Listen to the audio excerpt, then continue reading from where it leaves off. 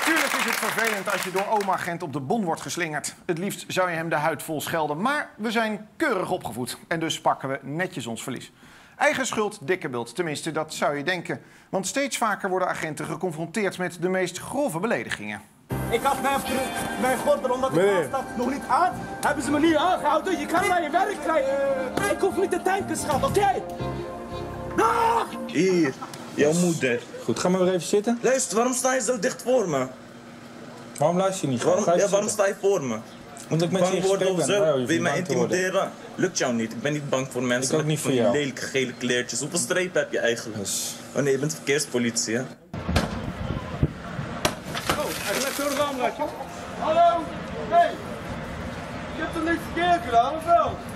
Ga nou weg, op een bonkje wegstraat! Godverdomme! Laat even zitten. Zitten blijven.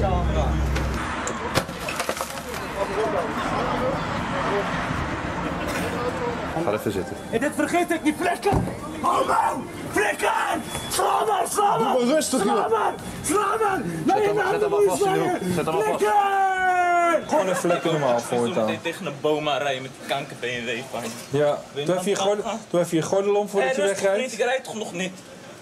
Ik rijd toch niet? Rijd ik al? En wat je net zei, dat slaat nergens op, En hè? dan, ik hoop dat je met die kankerauto tegen een boom aanrijdt. Heb Ja. je gehoord, ja? Hier aangeschoven in de studio eh, Bram Bakker. Oh, Ik zou even zeggen, onze huispsychiater. Hè? Want Ja, eh, geuzennaam. er zijn er hier in de studio een aantal, geloof ik, die geholpen worden ook door je. Maar eh, dat is dan jouw dus- beroep. Er zitten onbehandelbare gevallen hier. Ik heb beroepsgeheim, dus ik kan het, kan het verder niet toelichten. Vandaar ook dat we jou eh, zover hebben kunnen krijgen om hier te komen. Hey, um, eventjes naar wat we net gezien hebben. Ja, we lachen erom, hè, maar eigenlijk is het ook wel heel erg.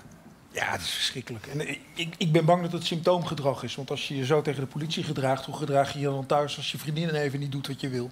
Want jij als psychiater moet hier denk ik ook wel weer van smullen. Want eh, ja, jij kunt hier veel van leren. Wat, wat zie je bij, bij- die mensen die zich zo gedragen tegen de politie? Nou ja, extreem veel stress. En eh, het eerste wat ik me afvraag is natuurlijk eh, hoeveel middelen hebben ze achter de kiezen. Het lijkt, het lijkt ook heel erg wat je in bepaalde voetbalstadions ziet gebeuren. Ja, denk je drugs? Nou ja, o- o- of inderdaad totaal over de kook. Gewoon zo gestrest. En dan is dit het topje van de ijsberg, ben ik bang. Over de kook als in kook gebruiken of kook? Nou ja, dat kan ook. Maar het zijn natuurlijk mensen die, die, die totaal niet meer in staat zijn om even rustige buikademhaling toe te passen en te denken.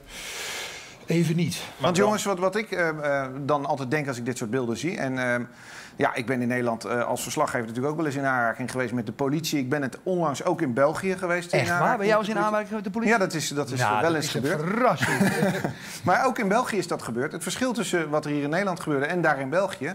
ehm, ik, werd, ik zei van, eh, ik sta op de openbaar- openbare weg te filmen. En de politie zei, ja, wij zijn hier de baas van de openbare weg. Ja. Drie knuppels Ja, in mijn nek, handboeien. Ja. En vijf uur in de cel gezeten. Ja, maar dat is een kwestie van autoriteit. Eh, Mijn wijkagent, Jaco Drent, bij het Beteringsplantsoen... daar gaat niemand tegenaan lopen schreven. Die man die straalt iets uit.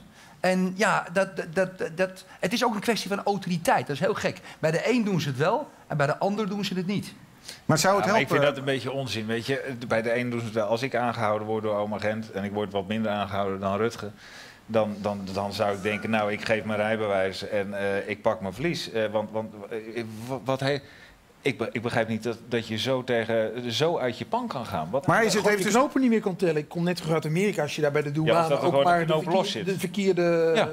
de verkeerde oogopslag hebt, dan kom je het land niet in. En iedereen weet dat, dus die houdt zich gedijst. Erik heeft, Erik heeft het over eh, harder aanpakken. We hebben hier in de studio eh, de schrijver Bart de Koning. Van, eh, eh, je bent auteur van de Veiligheidsmythe. Ja. Welkom. Ehm, is het zo? Moet de politie harder aanpakken? Voorkom je dan dat, eh, dat mensen zich zo gedragen? Dat denk ik niet, want dan zou Amerika het veiligste land ter wereld moeten zijn. En dan word je meteen drie keer in je rug geschoten. Ik, bedoel, dat, dat- ik vind dat de Nederlandse politie het meestal heel professioneel doet. Maar ook wel, ik vind het ook wel echt soft. Want als ik eh, even vanuit mezelf redeneer... en ik heb, ja, je, kan ook, je kan ook wel echt met z'n dollen. In andere landen kan dat gewoon niet. Ja, maar vind je het dan een goed idee om meteen eh, met drie knuppels in je nek vijf uur in de cel Nou, ik zou, je, ik zou je één ding zeggen. Ik vond het niet leuk wat er in België gebeurde. Maar ik en mijn cameraman, we zeiden wel tegen elkaar... ja, als je het zo doet, dan ik kijk we volgende keer wel beter uit. Ja, maar er is een soort misverstand dat de Nederlandse politie heel soft zou zijn. Dat er soft gestraft wordt. En dat is gewoon niet waar. Dat blijft iedereen maar herhalen. Maar als je naar de cijfers kijkt, dan zijn de straffen in Nederland best hoog. Voor West-Europese begrippen. Nou, voor Amerikaanse begrippen heel soft. Ja, oké, maar als je, als je dit soort types nou bezig ziet, Ja. dan, dan, dan zou ik als agent zeggen, eh, joh, kom gewoon even mee naar het bureau. Ik bedoel, er was laatst ook op, op, op, eh, op internet een geluidsfragment te horen. Dan zou ik zeggen, ik zet even het geluidsfragment zet ik af. En die gozer die krijgt van mij toch wel een paar draaien om zijn oren. En daarna zetten we het weer aan. Maar dit, dit gaat toch helemaal nergens meer over. Je laat je gewoon als, als agent gewoon beledigen door snotapen. Maar ze worden toch ook meegenomen naar het bureau? Nou, eh, deze, de- die laatste jongen die die agent dan eh, toewenst dat hij zijn auto op een boom, eh, boom rijdt.